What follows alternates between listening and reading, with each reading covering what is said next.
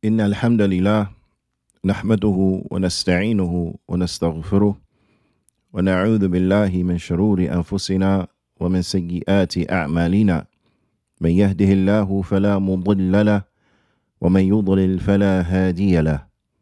أشهد أن لا إله إلا الله وحده لا شريك له وأشهد أن محمدا عبده ورسوله. صلوات الله وسلامه عليه. أما بعد يا أيها الذين آمنوا اتقوا الله حق تقاته ولا تموتن إلا وأنتم مسلمون. يا أيها الناس اتقوا ربكم الذي خلقكم من نفس واحدة وخلق منها زوجها وبث منهما رجالا كثيرا ونساء واتقوا الله الذي تساءلون به والأرحام. إن الله كان عليكم رقيبا. يا أيها الذين آمنوا اتقوا الله وقولوا قولا سديدا. يصلح لكم أعمالكم ويغفر لكم ذنوبكم. ومن يطع الله ورسوله فقد فاز فوزا عظيما. أما بعد فإن أصدق الحديث كتاب الله. وأحسن الهدي هدي محمد صلى الله عليه وسلم. وشر الأمور محدثاتها وكل محدثة بدعة وكل بدعة ضلالة وكل ضلالة في النار. ثم أما بعد الحمد لله على نعمة الإسلام والسنة. حدثني جماعة من الشيوخ بإسناد كل إلى سفيان بن عيينة عن عمرو بن دينار عن أبي قابوس عن عبد الله بن عمرو بن عاص رضي الله تعالى عنهما أن النبي صلى الله عليه وسلم قال الراحمون يرحمهم الرحمن ارحموا من في الأرض يرحمكم من في السماء. قال النبي صلى الله عليه وسلم in this tremendous hadith and this is after praising Allah subhanahu wa ta'ala and sending the salutations and exhortations upon the Prophet sallallahu alaihi wasallam, asking Allah subhanahu wa ta'ala to raise his mention and to grant peace upon him. The Prophet sallallahu alaihi wasallam he mentions in this tremendous hadith that those who are merciful they will be shown mercy by the most merciful. So be merciful to those who are in the earth, and the one who is above the heavens, he will show you mercy. This hadith is a hadith that is tremendous, and it's from those hadith musalsal bil awwaliyya. It is from those narrations that the scholars of hadith, the imams of hadith, the imams of the past, they used to, and even still today, many of the teachers, many of the ulama, they teach this hadith to their students. Traditionally, it's called, it's from the hadith al musalsal bil awwaliyya because this will be the first hadith in which they would teach to their pupils. Because it's tremendous and it outlines the manner of knowledge, the purpose of knowledge and the goal of knowledge, the nature of it, and how one who is a carrier of it should carry themselves. The Prophet sallallahu alaihi wasallam he said that those who are merciful, those who show mercy, those who are merciful to others, those who show others mercy. Then the most merciful, meaning Allah subhanahu wa ta'ala, Ar Rahman, He will show them mercy. So therefore, be merciful to those who are in the earth. And the one who is above the heavens, it will show you mercy. Many, many, many benefits in this hadith. This hadith could be a class all by itself or a number of classes all by itself. Ala kulli hal, the ulama they will teach this to their pupils because as the, the ulama they mention al-ilm rahma knowledge is mercy غايته رحمة في الدنيا ونتيجته عفوا نتيجته رحمة في الدنيا وغايته رحمة في الآخرة that the result of knowledge is mercy the result of knowledge is mercy from the fruits of knowledge is that one, he will be merciful upon people. He'll be forbearant. He'll be tolerant of the indecency and of the harms that individuals they will show him. And we know this is from the case that anyone who gives da'wah, anyone who calls to Allah subhanahu wa ta'ala, they're going to be harmed. And thus the ulama they mention was-sabr ala adhafihi, was-sabr ala adhafihi, and to be patient upon the harms that one will encounter while giving knowledge, while teaching knowledge and calling others to that which is correct, while calling to good and forbidding evil. Not everyone is going to like that. You're going to be forbidding evil from it, from people who perhaps may want to do the evil. So therefore, their response will be to harm you in some way, whether that harm is verbal, whether that harm is physical. They're going to try to harm you in some way, some shape, or some form. Those who are malicious and, and intent upon doing this evil and don't like the fact that you are highlighting that this is evil and warning the people from it. Likewise, for the callers of evil, their supporters, they would rally to their defense and they will attack you with all types of malicious attacks in defense of an individual who's calling to misguidance. So you have to have sabr and you have to you have to show and display this type of mercy to the creation. The one who has knowledge, this is incumbent that they carry themselves in a manner that is befitting. the end result of knowledge, the ultimate goal of knowledge is to receive mercy in the hereafter, to receive mercy in the hereafter. Because knowledge should be a means by way in which an individual he strives to go to the heaven. It should not be a cause by way in which an individual be plunging to hell. And those individuals who will be plunging to hell because of some knowledge that they have with them, it is as the Prophet sallallahu alaihi wasallam he said, "Quran hujjatun laka aw alayk," and the Quran will be a proof for you or a proof against you. It will be a proof against you if you learn it, if you memorize it, if you study it, if you know its meanings, and then you don't live in accordance to it. You live in a manner that is contrary to it. You call people to good, but you don't do it. You call people to stay away from evil, yet you yourself are indulging in it. Then this would be a way in which an individual they would have destroyed themselves. Although they may have given light to others, they may have benefited others, but then ultimately they destroy themselves. Ala kulli knowledge in its proper way and the way in which an individual should carry themselves, it should be a source of mercy, both here in this world and in the next world. Like I said, this could be a class all by itself. But bithnillahi ta'ala, I digress. We continue going over the tremendous book, the 40 hadith of Imam al-Nawawi, rahimahullahu ta'ala. We have reached the hadith and أبي هريرة رضي الله تعالى عنه قال قال رسول الله صلى الله عليه وسلم إن الله تعالى قال on the authority of Abu Hurairah رضي الله تعالى عنه he said that the messenger of Allah sallallahu alaihi wasallam he said that verily Allah the most high said so this is a hadith that is Qudsi. We'll come back to this bidnillahi ta'ala and speak more about that. Allah subhanahu wa ta'ala, he said, من عاد لي وليا فقد آذنته بالحرب. Allah ta'ala, he says what means whoever has enmity for a wali of mine. And bidnillahi ta'ala, we're going to leave it like that, untranslated. Wali. Whoever has enmity and shows enmity to a wali of mine, then I have openly proclaimed war against them. There's an open declaration of war. this is not a type of war that you ever want declared upon you. Because this is Allah subhanahu wa ta'ala declaring war upon you. And if Allah subhanahu wa ta'ala declares war upon you, there is no means of victory for you. You will never be able to be victorious, but you will be defeated and destroyed every single time. So we have to be mindful of what we do and what we say. But we'll come back to this. Bithnillahi ta'ala. We'll go sentence by sentence. Bithnillahi ta'ala.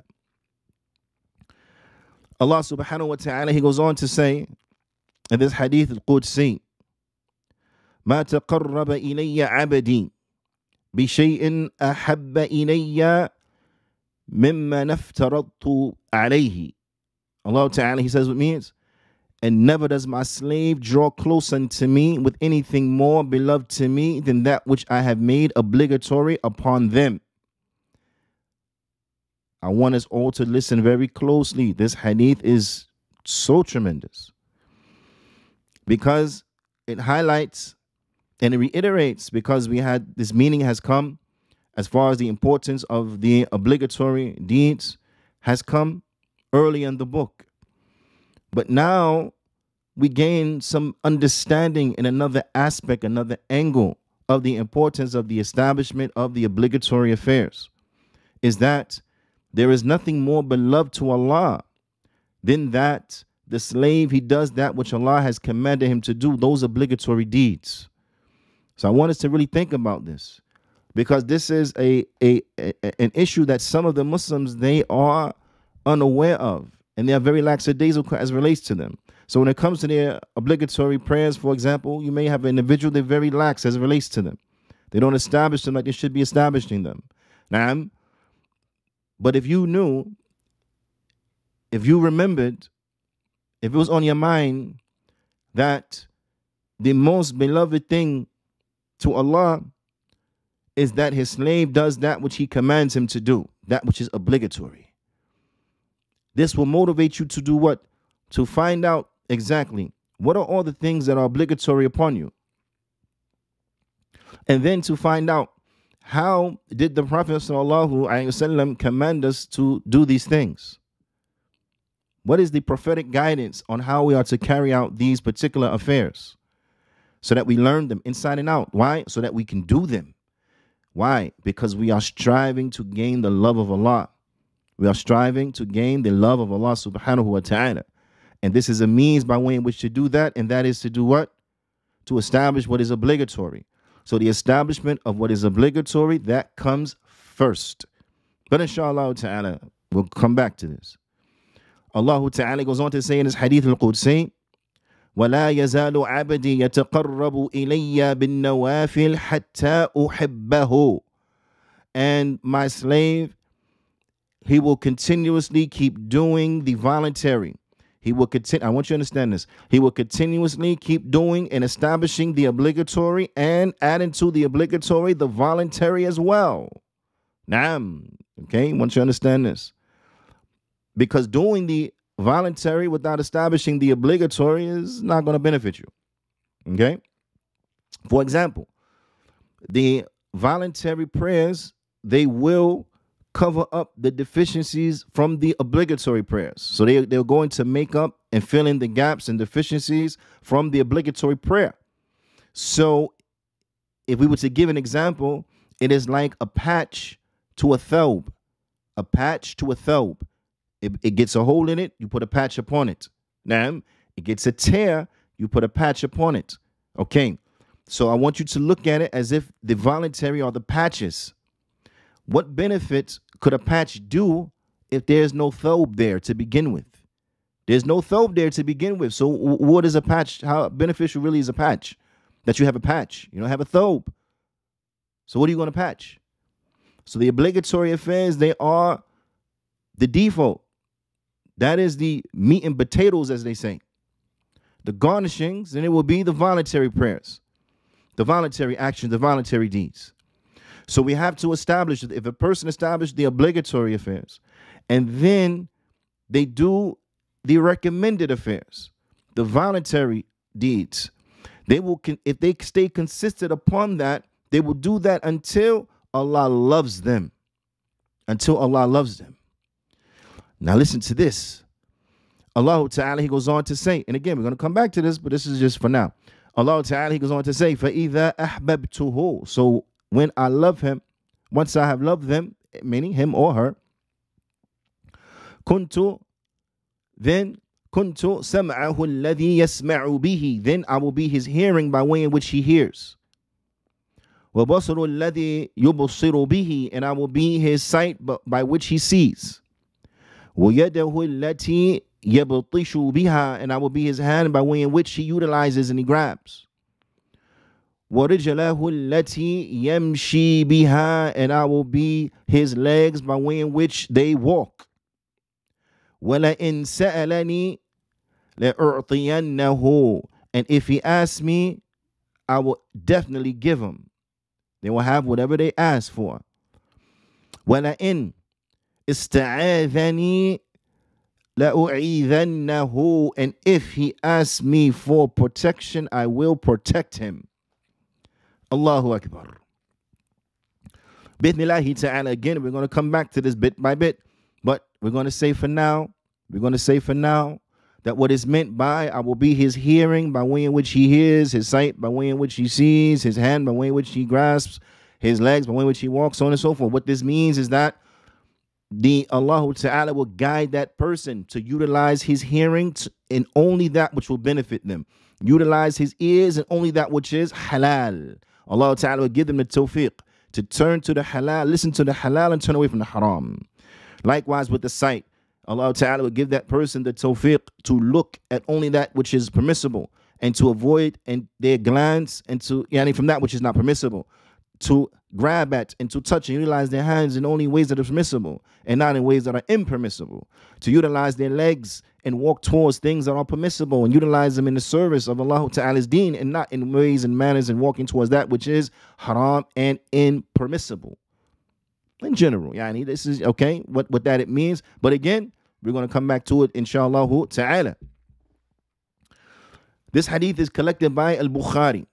This hadith is collected by Imam al Bukhari in his Sahih, in his collection of authentic hadith.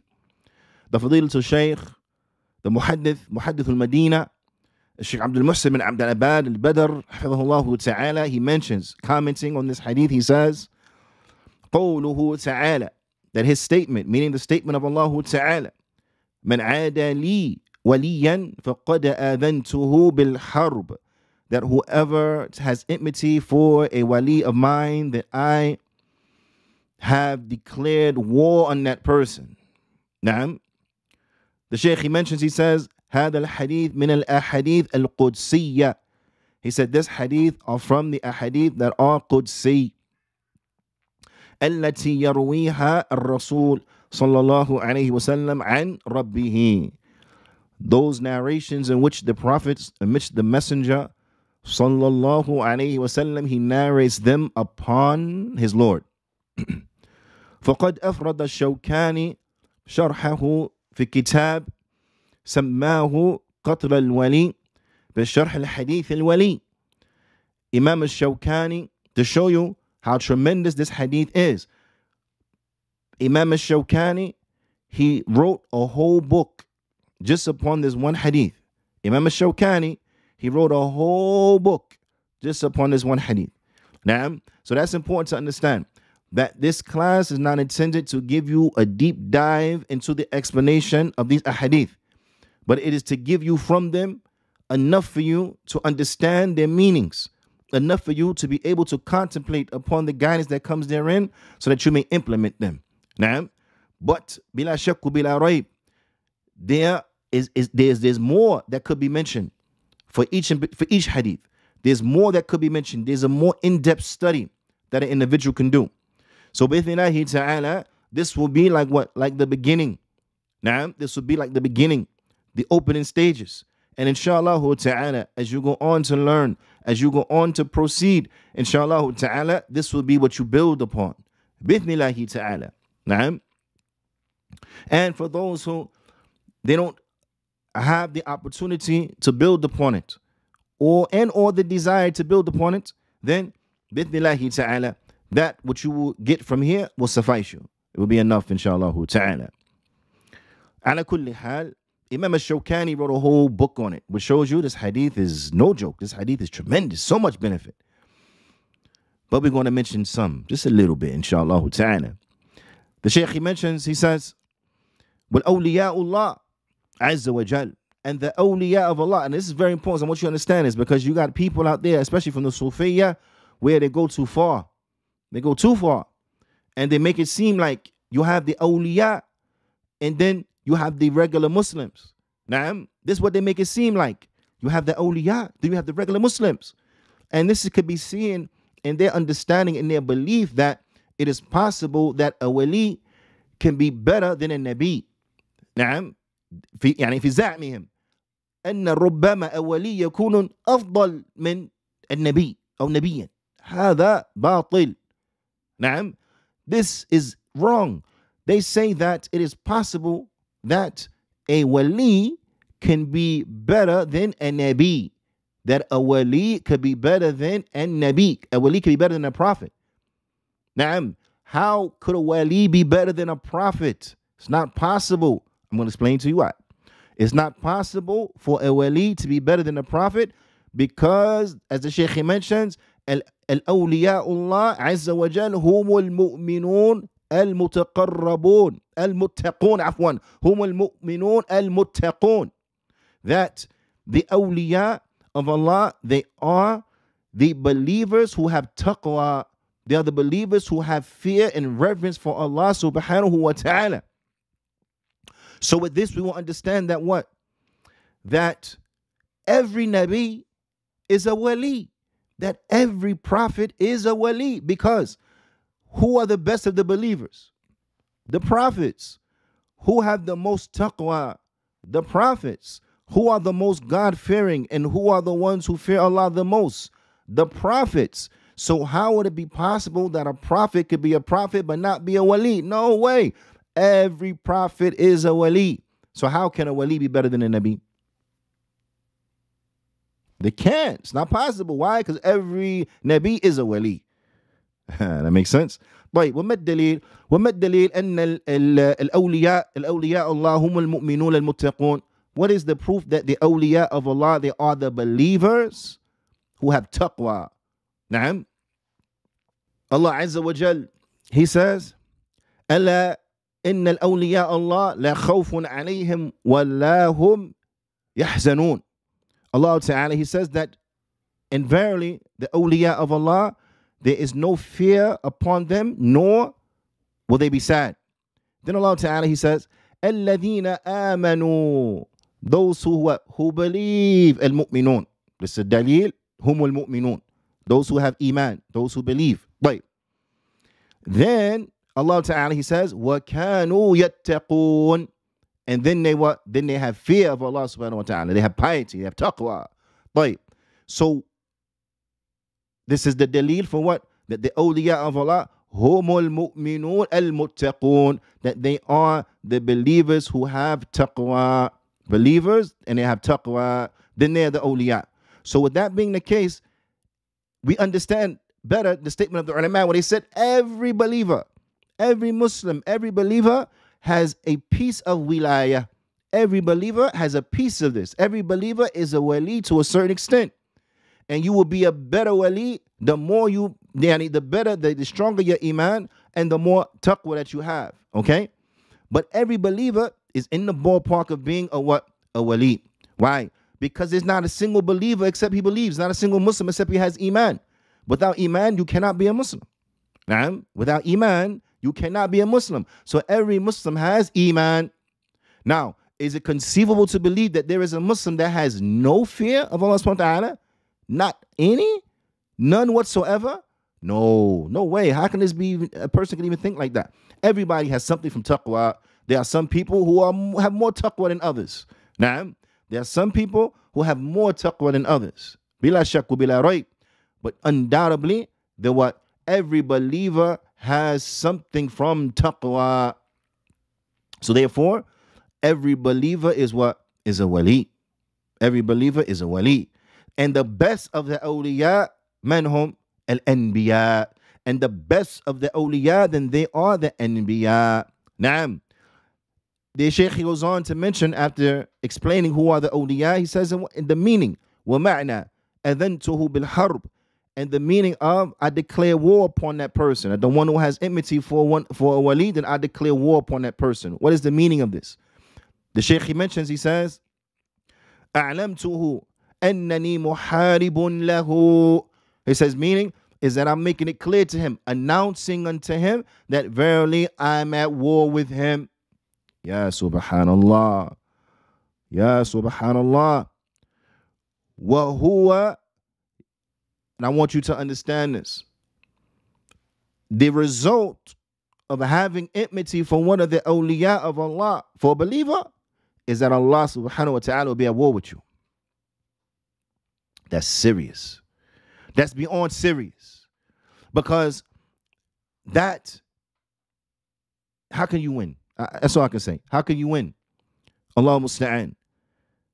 Allah subhanahu wa ta'ala being at war with you is never an option for the one who has intellect. It's never an option.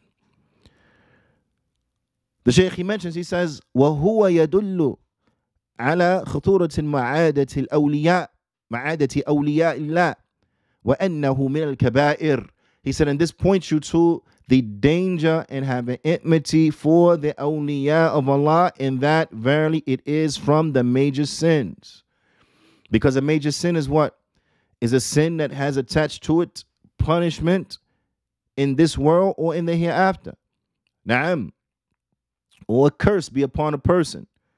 Right? That, that the la'na be upon a person, so on and so forth. What is the end result of this particular deed of having enmity and take in any uh, an, an enmity for a wali? Is that Allah Ta'ala He will be at war with you. So no doubt that's from the major sins. So we have to be very careful, very careful. How many of the people they have enmity for the for the ulama? How many of the people have enmity for the ulama? A'udhu billah.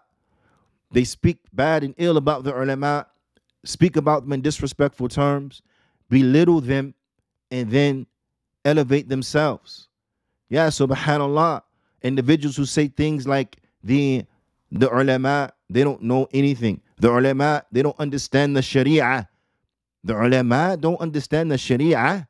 And you, non-alim individual, you who are not a scholar, you understand the sharia.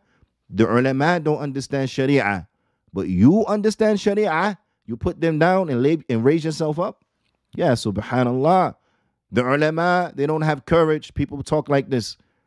The ulama, and they, and they describe them as being cowardly. Yeah, subhanallah. The ulama don't have courage, but you have courage. Allah musta'an. Allah musta'an. So they have enmity, and some people they take enmity from the ulama.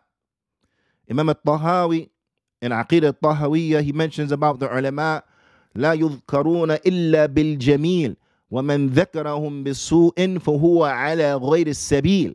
That the ulama, the, the ulama of the religion, the scholars of the religion, those whom the Prophet ﷺ he said, وَالْعُلَمَاء وَرْثَةُ الْأَنْبِيَاء And the ulama, they are those who inherit from the prophets. The ulama, the scholars, they are those who inherit from the prophets. They are the inheritors of the prophets, okay? But you not inheritors of the prophet, you think you better than them? Yeah, subhanallah. Imam al-Tahawi, he says what means that, and they are only to be mentioned with good.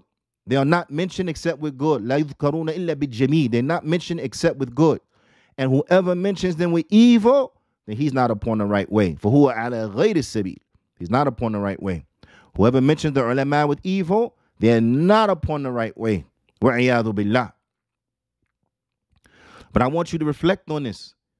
You're taking enmity to an alim from the ulama. You feel comfortable that by doing that, Allah not Allah Ta'ala not gonna be at war with you. You feel comfortable by taking enmity to the ulama. You feel comfortable that, that none of the ulama them are from the awliya because you have an enmity for the awliya results in Allah waging war upon you. So you feel comfortable that these ulama are not from the awliya, so you don't got to worry. You okay? Allah al-musta'an. Fear Allah, fear Allah. Fear Allah as relates to the treatment of the ulama. Fear Allah as relates to the treatment of the Muslims. Don't open your mouth against a Muslim except that there is an extreme need and cause to do so. Don't be reckless in how you speak about the Muslims. Don't be reckless in how you look upon the Muslims. Clean your heart from all of those things that will cause you to have enmity for the Muslims because you could be setting yourself up for the ultimate loss that resulting in Allah Ta'ala being at war with you. And if Allah is at war with you, you will never be successful. نكتفي بهذا القدر وصلى الله وسلم على نبينا محمد وعلى آله وصحبه أجمعين وجزاكم الله خيرا